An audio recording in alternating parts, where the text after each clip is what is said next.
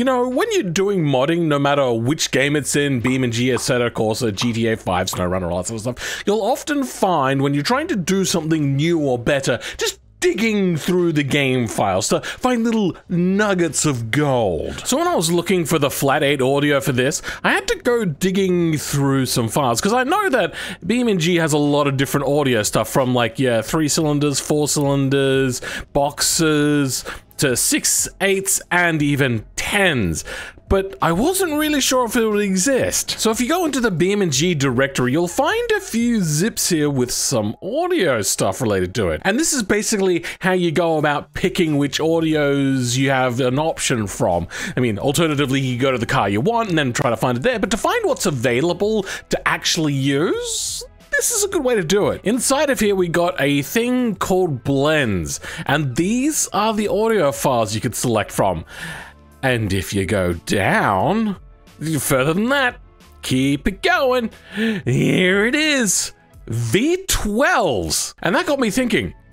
I wonder if I could actually use this. This is an in game Canon V12 that is currently not utilized. Uh, ignore the V16, we're not going to be doing that today. Now, to make this a little bit more complicated, if we go into this one here and we go into art, sounds, and then engines, uh, we have boxer engines, which is represented here, inline four engines, which would be something like this, then your sixes, like this one, and so on with the V6s, V8s, and V10s. Now, the reason why I'm not certain that this is the be-all and end-all, because that is a fairly wide representation, is that there's no i3 here. But if we go into here, we can see that this has an inline three cylinder. So even though the files aren't there, maybe it's hidden in some other way, and I want to give it a try. But which car do I turn into a V12? See, it would be easy to do a V6, so I'm thinking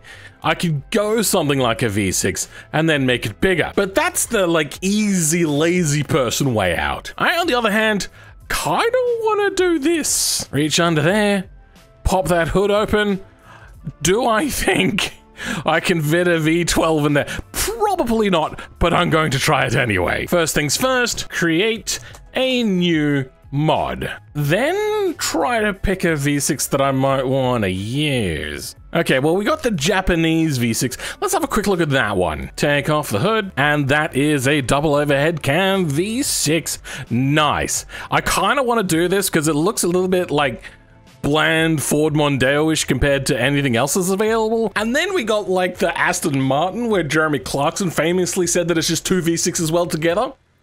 It's kind of what I want to do right now. So, in the context sections, mid-size. Then grab the files we need, start renaming these things, then change this to be Covet engine. That should be all I need really for now. Quick little control L to reload all the Lua. Or at least I think it's reloading Lua because I'd assume that due to the using an L. I don't know. Anyway, we now have our vehicle and do we have. Okay, good. Name is working.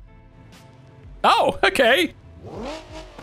It's not quite worked the way I wanted it to. I suppose we should go in here and change this also to Covet. Go in and yes, we now have the transmission option. Then Perfect. We're already driving. That good. The engine, though, is not mounted particularly great. I'm also I'm, I'm going to take the hood off so I can see easily what it is I'm doing. Uh, as for the engine mounts, we will deal with that in a sec. The positioning, though, I think it's doing all right. Import uh, files. Okay, yep, we don't need most of this. Then also import the JBeam. And suppose let's start with rotating it around. I think I'm also going to lose the turbo stuff. Kind of want to leave this naturally aspirated, to be honest. And now, you know what, we'll hide all of those bits. Let's work on making this into a V12. Because I really, really want to show off how amazing uh, BeamNG's hidden secret V12 is. One problem though, this intake manifold is kind of facing the wrong way. I can just go here, scale on the y-axis minus one. Oh, that's not worked quite how I wanted it to, but that should about do it. Well, let's grab these parts. We don't need absolutely everything because we're going to go in and get rid of these belts since we, we don't need belts inside of the engine bay. Now, I wonder, can I quickly just go in and then hit hide on that? And then we could fit that even snugger. I think that works. Okay, how's this gonna work? It's kind of butted up against? Hmm, okay, so the one last problem here is the intake manifold, but I think I know how to fix it. Okay, well, there's also that. Oil pans need to be put together, I think. Oh, good. I could select the oil pan all on its own. Some get you, get you, delete, and then you merge up. Perfect. And I think we're going to do a similar thing here with this. Oh god, what what I pressed something. I don't know what I've pressed. What I meant to do was go in and just hit delete on that and then drag that out just the same. Hmm. That did end up taking a little bit more effort to do. What I really could have done is maybe flipped it over that side to give it kind of, kind of more credence to it just be kind of uh, slapdash together. But I think that's about done. All right, let's start joining them together. Now really the last thing to do is to modify all these beams. Move engine uh, positions backwards. Oil pan can stay in the same place. Things like exhaust, you know, that's all fine and dandy. I think we're pretty good. Then because I renamed everything to be Covet, we also have to go into all the flex, but you know, actually, I'm just gonna go in, replace everything mid-size with instead Covet, replace, then everything V6 with V12. Done. Oh god, please still work. Control R. Please. Please work. Damn it! I get the feeling I forgot to export all of these flexporty things. F4 export D. Yes! Good. Perfect. What the hell is that? Oh, that's, I think, yeah, th those are pulleys. Yep, I've stuffed that one up. Oh, I know what I did. Oh, I rotated the pulleys in the mesh and not so the points in the. God damn it! Well, luckily I have an easy way to select just them. And please to God, set origin, uh, origin to geometries. Perfect. Okay. Is that is that gonna fix everything? Maybe. God, okay, I know what I did wrong here. Please God work this time. Yes, perfect. Okay, next problem. Doesn't exactly fit now, does it? But do I care? I kinda love it the way that it is. I wonder, does it still sound like a V6? Yeah, it should, right? I can't draw- oh wait, hold on, I've got it slowed down. There we go. Perfect. Love those engine mounts. Oh, and it's broken. Awesome. I haven't... What? I don't know why it broke. That doesn't make sense. I suppose let's grab some engine mounts from a normal longitudinal sort of vehicle. And then engine mounts perfect. And then engine mounts inwards. Make sure they're selectable. And, oh god, please have this one work. Engine mounts, stock engine mounts. Okay. It seems vaguely stiff. I think what we're gonna need next is a transmission and a way to get power to the rear. Do we actually have like good rear suspension? There's no differential choice. Fantastic. Hmm, I could go to the effort of putting a rear differential in here, but I am quite lazy, so I'm just gonna fake it until I make it because all I care about is the thumbnail because I need this to be clickbait. Isn't that how I get to become a big YouTuber, right? Actually, speaking of which, uh, help me get to 100,000 subscribers for the end of the year. Like, check to see if you're subscribed or not. Are you? Do you think I deserve 100,000? Currently, the transmission is still a transverse one. Does it drive? Yep. Okay. Drives those front tires. Uh, let's also grab an ETK transmission. I, I think the transmission will work perfectly for what we want. Doesn't look like it needs much changing either, so grab you, put you into perfect. And then I ooh, we might have to create a custom rear suspension as well. What transmission do we have? We have a five-speed manual. Wait, I renamed the transmission to be Covet V12 transmission. So let's put that in. Then let's go and select that transmission. I'm thinking four-speed automatic seems very fitting for this. okay, that did okay. No flex buddy. God damn it. Oh, God, that's a mess of errors. Let's clear this out, refresh, and try again. Yep, that's a lot of problems. Unable to open JSON file int uh, blends. Oh, yeah, okay. Engine sound problems. Yeah, there's, um, as you can hear, no engine sounds. That's because I went like a blundering sort of like control F. Okay, this is now where we change over our good old engine sounds. V12, we got engine and the exhaust versions. Do we get sound? Oh, I don't know where this driveline is attaching to. Wait, it wants to have it into a differential. Is that the problem? It might need a differential. I mean, I could try doing this one because I know that has a transmission, but I think we'll go this one. Delete everything we don't need. We only need the one bit which is just this, then just duplicate that. And what did I call the new differential? I, I, made some new differential stuff out of some ETK stuff. V12 differential, stick that in there. Then in here, we got our rear suspension. Let's, oh, well, that sucks. I mean, it's in here. It should work. Oh, wait, hold on. Wheel drive. Okay, we've got to change that name. Then it shows up. Perfect. And we should have rear diff rear different what's happening? I don't see the rear differential. Though hold on if i mouse over this i do see a drive shaft? Okay. Oh because i didn't change the name of it i'm an idiot. Now our rear diff shows up. Though still no transmission. The drive shaft is kind of like tucked away in here. Yep there's the drive shaft visible from inside the cockpit Just don't put your hand in the wrong place, otherwise it'll get like ripped into. That's not great. Why is the transmission not there? Moments later. I think. What happens if we get rid of the half shafts? Does that. I think that fixed it. Oh, yes, perfect. Okay, we don't need the half shaft code. And there we go. that is stupid and I love it. You're stupid and I love it. Okay, what more can we do here? You know what we haven't done? We haven't gone to the power section and then double the power numbers because we literally have twice the amount of engine.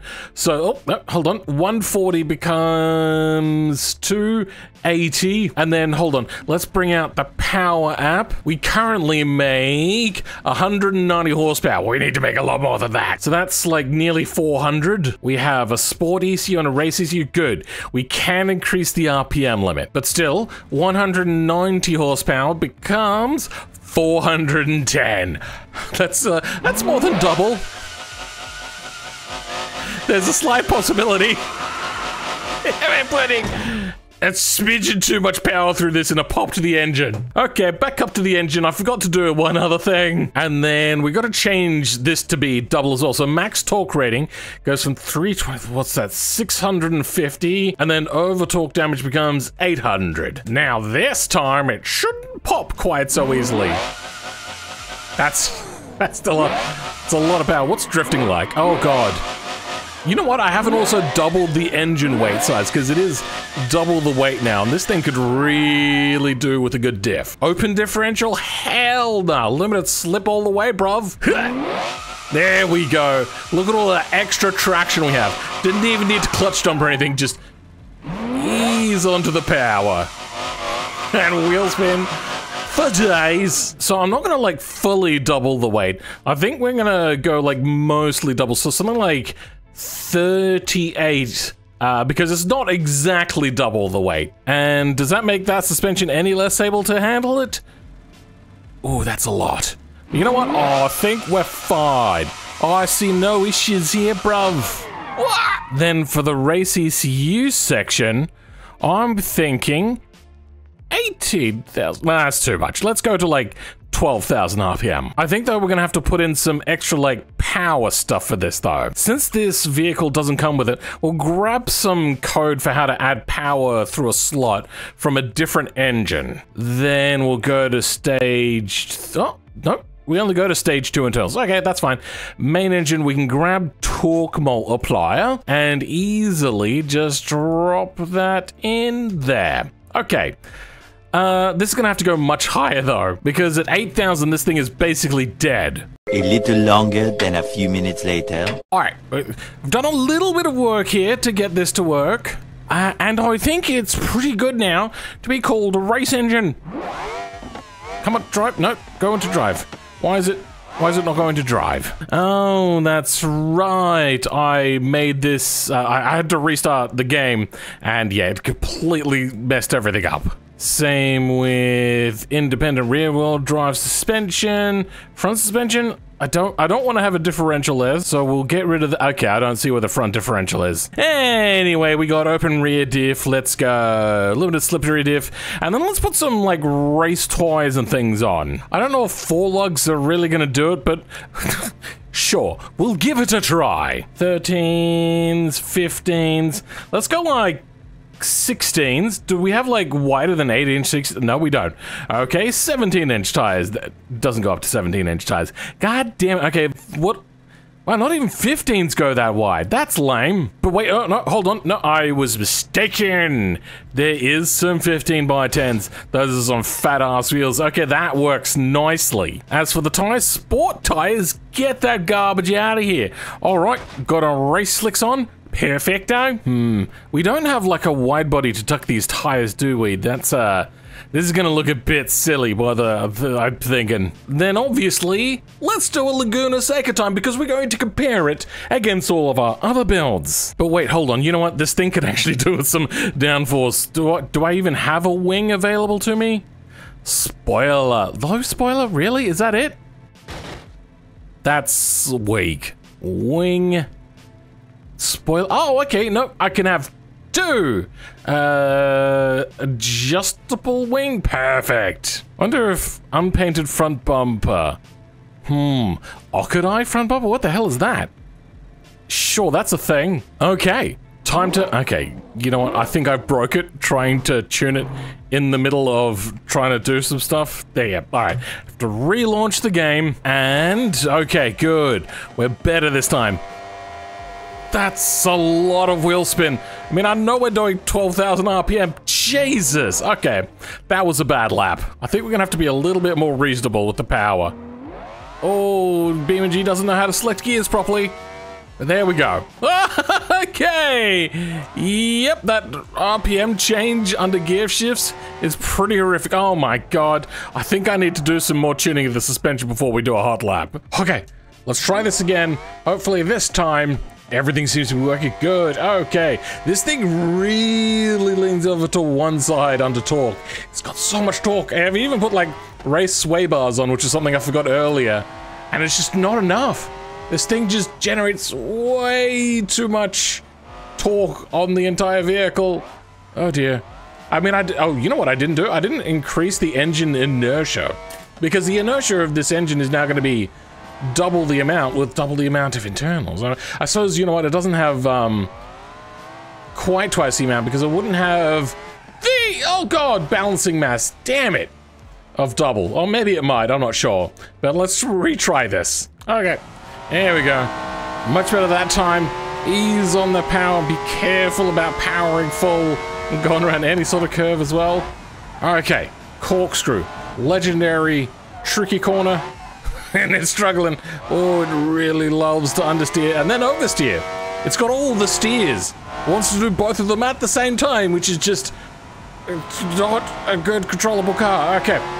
Ease on that power. Penultimate corner. Get it slowed down.